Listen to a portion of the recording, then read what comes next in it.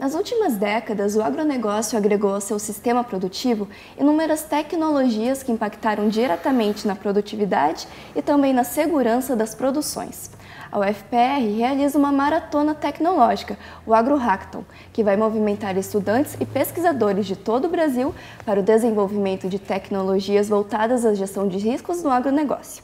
O FPR Notícias de hoje recebe no estúdio os entrevistados Gilson Martins, professor do setor de Ciências Agrárias da UFPR e responsável pelo Centro de Economia Aplicada, Cooperação e Inovação no Agronegócio, e Guilherme Martins, estudante do curso de Agronomia da Universidade. Sejam muito bem-vindos, obrigada pela presença aqui hoje. Muito obrigado, Luana. Obrigado. Uhum. Bom, professor Gilson, de 11 a 13 de outubro, né, então acontece o segundo AgroHackathon, e aqui, organizado aqui na UFPR. O que, que é esse evento? Você já falou, Luana, é um evento tecnológico, é uma maratona. Então, o objetivo assim é realmente colocar os estudantes para desenvolver desafios e soluções para problemas práticos lá do meio rural, do produtor rural e para fornecer soluções para eles. Mas não é qualquer tipo de problema, é um problema sempre relacionado à questão da tecnologia.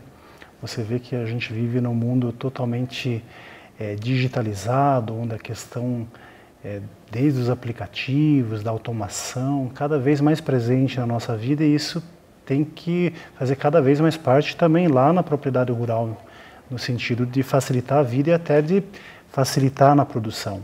Para os estudantes é uma oportunidade única, porque vai colocá-los em contato com a questão prática do mercado, a realidade. Também é uma oportunidade para intercâmbio, para fazer o famoso networking. Várias empresas estarão presentes, seguradoras, Ministério da Agricultura, Federação da Agricultura. Então é um momento assim de interação e criatividade, eh, eu diria, para os estudantes. E é claro que para a gente também, para todos os professores, a gente tem que estar sempre de olho no que, no que está acontecendo no mercado, porque só assim a gente vai conseguir produzir inovações e que gerem valor de fato. Uhum. E qual é a importância de um evento como esse para o desenvolvimento do setor de, de agrárias? No setor de agrárias, o agronegócio já é um setor bastante desenvolvido no Brasil. Se utilizou muitas tecnologias, principalmente a tecnologia no uso de insumos, genética e tudo mais. Mas cada vez mais a gente precisa otimizar os nossos sistemas produtivos. E o tema deste ano é justamente a gestão de risco rural, que é justamente por exemplo, aquela questão de você como você vai fazer um seguro da sua propriedade, porque você investe ali seu dinheiro, seja na floresta, seja na pecuária, seja na agricultura, tem dinheiro envolvido, mas você tem certos riscos, por exemplo, a própria questão climática, é, muitas vezes uma geada, uma chuva de pedras, ela pode realmente pôr seu trabalho todo a perder. Então, é, nosso objetivo deste evento em específico é buscar soluções uh, até para reduzir realmente custos, por exemplo, de seguro e das estratégias de mitigação de riscos. Ou seja, a gente sabe que toda essa parte digital, por exemplo, o uso de drones, o uso de sensoriamento remoto, como maneiras até de você monitorar melhor eh, as terras eh, e ter uma forma de fazer peritagem. Então, assim, o nosso escopo agora é a gestão de risco rural, que é um tema assim eh, de importância crescente no Brasil. Assim, nós temos assim uma aplicação de recursos que para o ano que vem deve ser pelo menos o dobro do que vem sendo aplicada neste ano.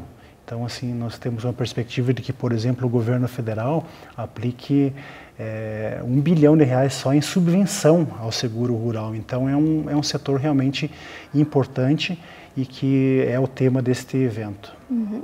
E Guilherme, você já participou da primeira edição, certo? E hoje na segunda você está fazendo parte da organização do evento. Qual é a importância para você, né, enquanto aluno, e para a sua formação? Então, o, o Agro Hackathon é um evento mu muito bom. Ele, ele me proporcionou uma experiência que até o momento a, a faculdade não estava conseguindo. Ali naquele, na pressão, é, tem que trazer um resultado. Fora, como o próprio Gilson já comentou, que a, a, o contato com as pessoas do, de fora, empresas, o, o próprio problema também, que geralmente, como a gente sempre só pega a, a parte mais teórica, não sabe como realmente é lá na prática, né? Os problemas que, que, que realmente a gente vai enfrentar no campo. um exemplo, por exemplo, um exemplo é a própria falta de conexão, que, que foi um tema do hackathon do ano passado, na parte ali de, de é, dados, é, emissão de dados, né? Isso. Em tempo real. E, por exemplo, aqui agora no, no hackathon do segunda edição, possivelmente pode ser também um, um, problema esse fato da distância, controle de dados pelo seguro rural, é, necessitar de, de, de, informações né, para uhum. a própria peritagem, uhum. tomar alguma atitude. E qual é a programação desses três dias de evento? Bom, é, este evento ele conta com uma inovação este ano que não é tão típica do, desse tipo de maratona. Então, na nossa programação, nós iniciaremos com uma imersão de campo de um dia. Então, todos os competidores e boa parte é, daquelas pessoas envolvidas no que a gente chama de problematização, que são aqueles que ajudam os competidores a entender os problemas. Então, todo esse pessoal estará numa visita de campo na região aqui de Castro, no Paraná, durante uh, o primeiro dia. Então, é um momento para todo mundo interagir, para entender os problemas então, uma sexta-feira, basicamente. No sábado, aí sim é o início da maratona propriamente dita, em, que você já tem uma equipe é, já formada e essa equipe vai começar a desenvolver as soluções. E durante o dia são várias etapas, mas ele, ele culmina com a apresentação de o que a gente chama de um modelo de negócios, que é um modelo chamado Canvas, e eu até gostaria de pontuar isso, porque muitas vezes a gente produz um monte de conhecimento na universidade e esquece dessa parte que é a parte da modelagem do negócio. Como que eu posso gerar valor, como que eu posso fazer dinheiro com aquilo que eu estou produzindo? E isso é super importante numa maratona como essa. Então esse é o nosso sábado. No domingo, depois né, de uma avaliação em cima deste modelo de negócios, as equipes vão partir realmente para a apresentação final, que seria o pitch, que a gente chama, que é justamente aquele momento de 3 a 5 minutos que a equipe tem para mostrar a sua ideia, o seu modelo de negócios e como que ele planeja fazer para levar a cabo, para terminar, para fa fazer aquela solução. Então vai ter lá às três da tarde começa toda a parte de avaliação e existe uma banca que vai avaliar os melhores trabalhos. Os três primeiros colocados terão premiação. Mas essa não é o mais importante, essa premiação em dinheiro para os três primeiros. É, seria o mais importante é que é, muitos promotores dessa ideia, os apoiadores, estão interessados em continuar desenvolvendo as ideias depois. Isso para a gente é o que mais interessa. Então, Muitas vezes você pode até não ser o vencedor, mas vai ter alguém ali olhando, opa, que legal, essa... eles não venceram a maratona, mas a ideia é muito viável, a gente quer investir nisso. E a universidade está preparada para dar suporte para os estudantes e para, digamos, para os apoiadores num período depois da maratona.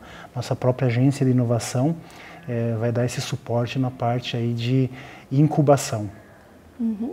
Bom, eu queria agradecer a presença do professor Gilson, do Guilherme, e fica o convite, né, para quem quiser participar da, da maratona, possa uhum. comparecer. Claro, né, fica o convite. Se você me permite, eu gostaria só de fazer um agradecimento aqui, porque claro. esse tipo de evento ele não seria possível sem o apoio é, dos parceiros e da nossa equipe. O Guilherme faz parte da nossa equipe, temos uma equipe de mais ou menos 20 pessoas que estão trabalhando dia e noite para realizar esse evento. E os parceiros, o próprio Ministério da Agricultura, a Federação das Agricultura, a OCEPAR, que é das cooperativas, SEBRAE, Cooperativa Castrolanda, Seguradora BB Seguros, Fairfax, é, temos também a UniFM, a nossa parceira nesse evento, então são é, vários. A UTFPR é nosso parceiro desde a da última edição, então é, a gente sempre gosta de registrar o agradecimento a todo esse pessoal que torna o evento possível. É, acompanhar é muito importante porque muita gente não consegue participar. Então, é, nós estamos disponibilizando a página no Facebook, que é o Agro Hackathon 2019, que é a mesma do, do Instagram. Então, lá estaremos disponibilizando informações durante o evento e que eu acho super importante que você, vocês acompanhem lá, até para, digamos, o importante não é só a realização do evento, mas é toda a motivação, o interesse pela inovação que a gente pretende gerar com esse tipo de iniciativa.